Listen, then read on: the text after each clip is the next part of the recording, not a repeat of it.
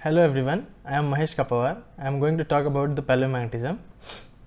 So the paleomagnetism is the fossilized snapshot of Earth's magnetic field preserved in the rocks. So what paleomagnetism study deals with is the rocks that record changes in Earth's magnetic field over geological time.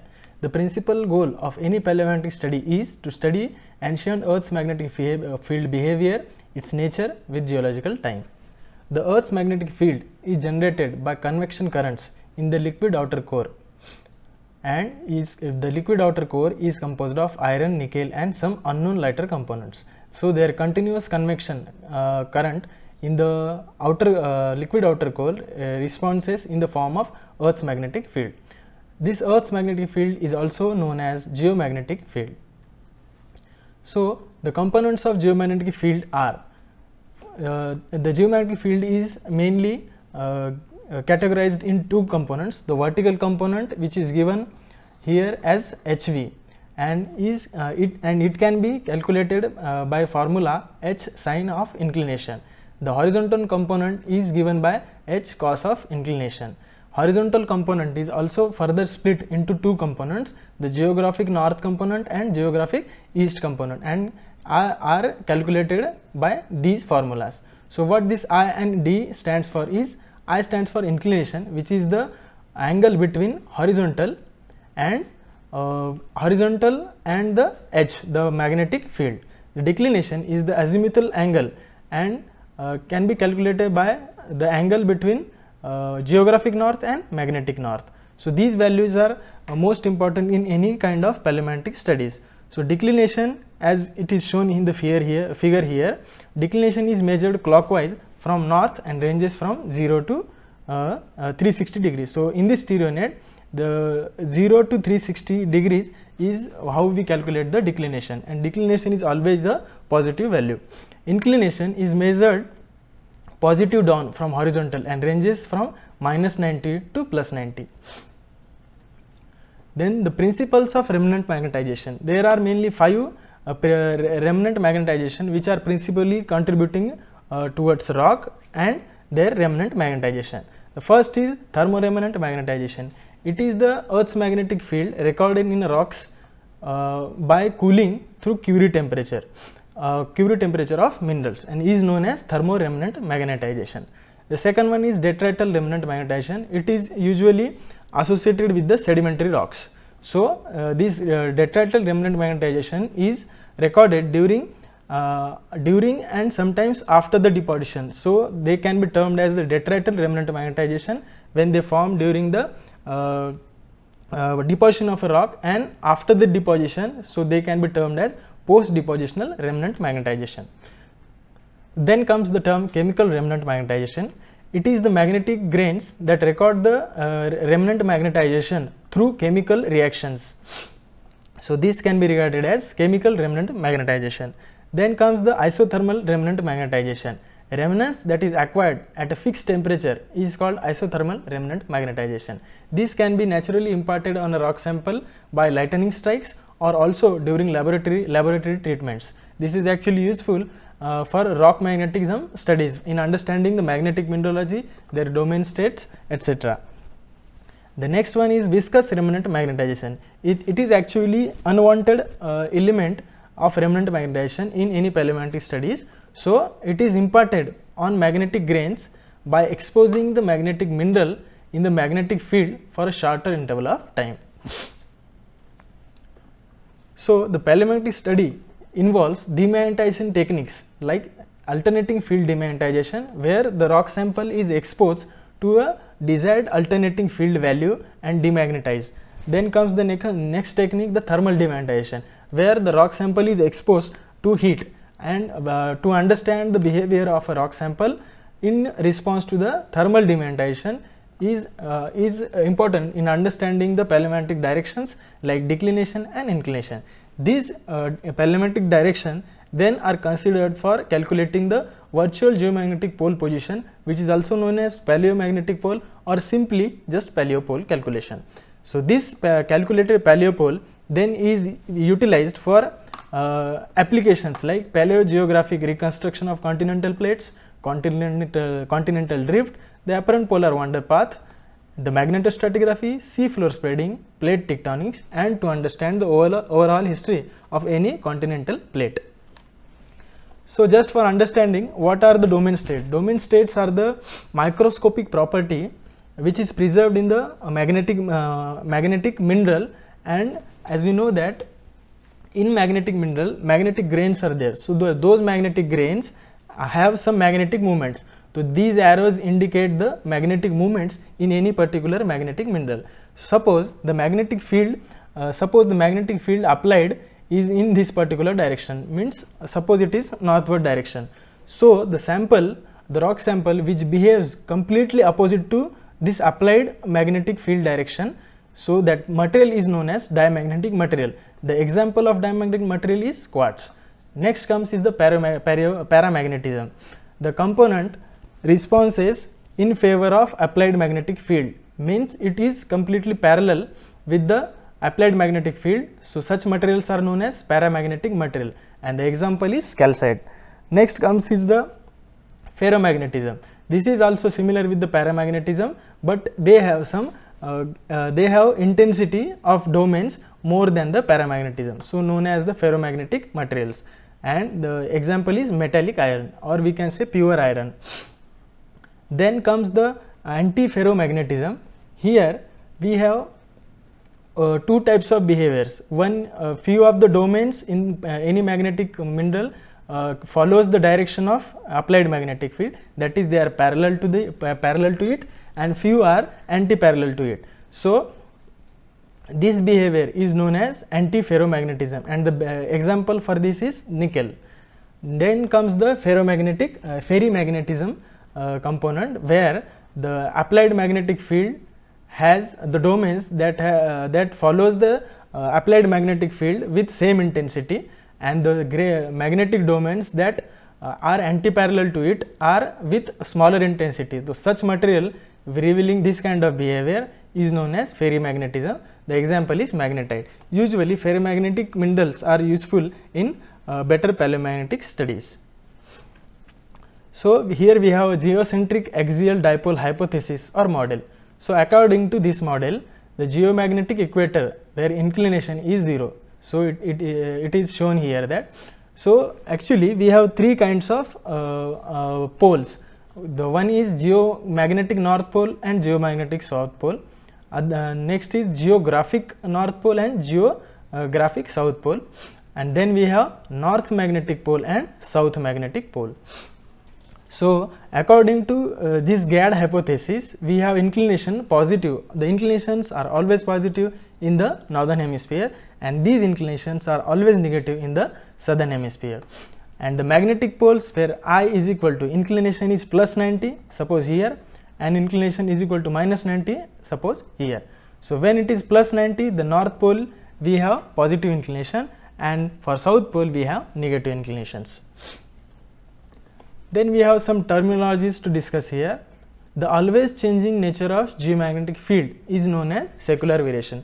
And as it is discussed in the previous uh, we have uh, our Earth's magnetic rotation axis of around 11.5. So, when Earth's magnetic field has a rotation uh, between 11 uh, between 0 to 11.5, this variation, this constant changing uh, behavior of geomagnetic field is known as secular variation and if this secular variation carries for longer period of time then we have to use the term paleo-secular variation. Then we have uh, a term re related to the polarity reversal, the geomagnetic excursion. Here we have a field that travels from what can be considered as normal of secular variation. Secular variation is always uh, parallel to the uh, Earth's magnetic field but with some variations. So, that that's why we have used secular variation term but in terms of geomagnetic excursion there is a complete flip flop in the earth's magnetic poles means the north magnetic poles become south and south magnetic poles become north. So this geomagnetic excursion is usually for period of some centuries to lakhs of years. Then if this geomagnetic excursion extends for longer period of time then we have to consider the term polarity reversal. So to note for understanding, the secular variation is small wobble of Earth's rotation axis for centuries, for some hundreds of years. Then when this secular variation extends to some uh, thousands to lakh years, but a sudden flip flop in them is uh, explained by geomagnetic excursion. Then comes the term polarity reversal. The long term changes in magnetic polarity for millions of years is known as polarity reversal. The intensity of magnetic field appears to have dropped to around 10 degrees of its average value during this transition that is transition from uh, Earth's magnetic pole from north, north to south and south to north. So, during this transition the Earth's magnetic field intensity has dropped to around 10 degrees of its original value. Here for example, how the uh, rock samples collected for paleomagnetic study. So, here we have shown you a, a field picture of a sample collected for paleomagnetic study. These arrows indicate the present geographic north and these T marks here are the horizontal marks. So, this sample we have to again reorient in the laboratory to obtain the uh, standard specimen size. So, suppose this is the north, geographic north and if this is the uh, direction paleomagnetic direction of domain. So, if both are uh, parallel to each other then we can say that the uh, rock sample is formed or deposited in the magnetic polarity uh, normal magnetic polarity time interval and suppose it is anti-parallel to this uh, presumed uh, geographic north then we can say that this rock, uh, rock type might have formed in the reversal uh, magnetic polarity. This is actually domain wall where usual transitions happens. Then to note when the polarity is the same as the present polarity it is said as normal polarity as I have shown you in the previous slide and when it is anti-parallel or opposite state to the uh, present geomagnetic field it can be said as the reverse magnetic polarity. The magnetic or geomagnetic reversals a change in earth's magnetic field resulting in the magnetic north being aligned with the geographic north and magnetic south with the geographic north. So, this we can call as a call it as a geographic reversal. The recent reversal, the Brunhes-Matuyama, the Brunhes and Matuyama, uh, Matuyama are named after uh, paleomagnetist Brunhes and Matuyama. It is actually a geological event happened at around 7 lakh 81,000 years ago where Earth's magnetic field has last underwent a magnetic reversal event. This flipping of Earth's magnetic pole from north to south and south to north happens usually every 2 to 3 lakhs a year and mostly it is regarded as excursion that is small time magnetic polarity reversal. So, in general consensus, uh, consensus what paleomagnetic data set is useful for? It is useful for apparent polar wander path construction. So, what apparent polar wander path is? the line that connects sequential positions of paleomagnetic poles obtained from different types of rock of different ages and this is usually plotted on a geographic grid. Then what is the next application of paleomagnetic data set is it is uh, it is an ancient location it is for knowing the ancient location of, of any particular plate and that can be regarded uh, derived from paleomagnetic data set. The magnetostratigraphy which is the geographic uh, geophysical correlation technique related from the related to paleomagnetism and obtained from paleomagnetic data sets which is useful in understanding the polarity uh, in particular and when the rock is formed igneous or when the rock is deposited sedimentary. This study paleomagnetic study is usefully usually useful in uh, igneous and sedimentary rocks only because metamorphic rock does not preserve magnetic materials uh, behavior uh, that quite good than igneous and uh, sedimentary rocks. So, this is the uh, picture we have adopted from Torsvik et al. 2012 so, uh, here we have two phenomena continental drift and polar wandering. So, the situation A is the depicted as the moving continent with a fixed polar axis. So, this is the moving continent suppose we have taken India and this is the fixed polar uh, axis that is fixed pole. So, this is called as continental drift before the term uh, plate tectonics took over. As the continental drifts steadily, so it is uh, drifting steadily towards north the during last 60 million years the earth's magnetic field direction at a site in the continents get recorded in the rocks and retain a memory of that changing direction for that particular period of time. So, this is continental drift. Then we comes to the uh, polar wandering. It is the situation when the continent stays fixed and the polar axis left to wander while following a path. So, that path, this path here recorded is the apparent polar wander path for since we are considering India. So, this is the apparent polar wander path uh, uh, obtained from the Indian plate for suppose here 16 million annum. So, there uh, one more concept comes in the picture that the basics of uh, paleomagnetic Euler pole. So, what actually Euler pole is? In the Euler pole studies, we have to consider two plates with one as fixed and one as moving. So, when we consider uh, suppose here in the picture plate F is fixed. So, this F plate is fixed and this uh, plate M is uh, free to wander. So, it marks the uh, apparent polar wander path for plate M and plate where plate F is stayed as a fix. So, vice versa we can do that plate M need to uh, can be uh, kept as stationary and plate F is uh, free to rotate. So, on the basis of interchange Euler poles we can construct the apparent polar wander path on the basis of that.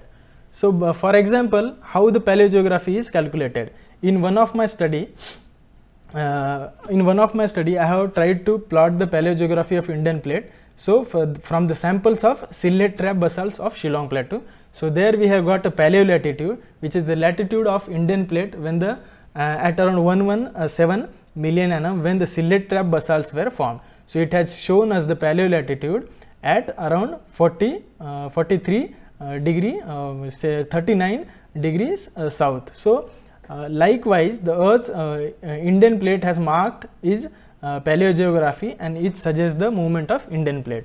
Similarly, the next report of uh, mine uh, suggests the apparent polar wander path of India at, uh, for last 120 million years. So, this is 120 million years where the Indian plate has uh, experienced the volcanism associated with Kerguelen hotspot and resulted in the form of Rajmahal and Sylhet trap basalts of northeast India. So, these red lines is the apparent polar wander path for India for around 120 million annum. So, this is the geological time scale prepared by Geological Society of America. So, here we have a column known as magnetic uh, polarity. This might not be visible to you, but you can simply google the time scale and you will find the information. So, this column the magnetic polarity actually as you can see it is available till 300 MA only because this is based on the uh, ocean floor basalts and uh, it is generally understood that more than 300 MA old uh, oceanic floor basalt is not available. So, since it is based on that, so it is available till 300 MA only. similarly, for uh, uh, for experience for explaining you in a better way, we have provided here a, a recent uh, 500 MA polarity time scale so, it has Brunhes reversal, Matuyama, Brunhes normal polarity, Matuyama reversal, Gauss reversal and uh, uh, Gilbert polarity. So, it is actually time scale of 5 million annum. So, uh, here the black lines are the normal polarity and the white uh, white strips are the uh, uh, reversal polarity. So, this time scale such arranged time scale with inclusions of reverse and normal polarity is known as geomagnetic polarity time scale GPTS and in order to provide the certain to this uh, certainty to this uh, uh GPTS many people have reported their argon argon dating results. So, for in order to explain how the ocean lithosphere has formed the sea floor spreading mechanism is uh, explained in a better way by understanding the paleomagnetic data set. So, as we can see in the figure A, uh, the mid oceanic ridge has uh, erupted has supplied a, uh, a, flood basalt to the ocean basin as and since it is in the color uh, colored uh, notations it is in the normal polarity then the next episode in the figure b we have again eruption of flood basalts and that too with the uh, normal polarity and then in the C we have clear picture that the third cycle of volcanism has obtained and given as the normal polarity. So, these colored portions in the figure and arrowed in the green color are uh, usually normal polarities and the blue arrows are in the reversal polarities. So, suppose we consider this arrow which is the normal uh, means present day geographic north and since it is coinciding uh, in some way with these green arrows or these colored portions in the figure C. So, we can say that these uh, lava flows or basalts are of normal polarity and those which are uh, white portions here are uh, experience the reversal in the polarity. This picture is adapted from this paper so you can find the link related with this in the description link. Here we have provided some questions of 2 or 4 marks so you may attempt this and comment the answers in the comment section below. These are a few more questions hopefully you will answer this. So these are few books we have provided you for better understanding of the uh, paleomagnetism. So thank you.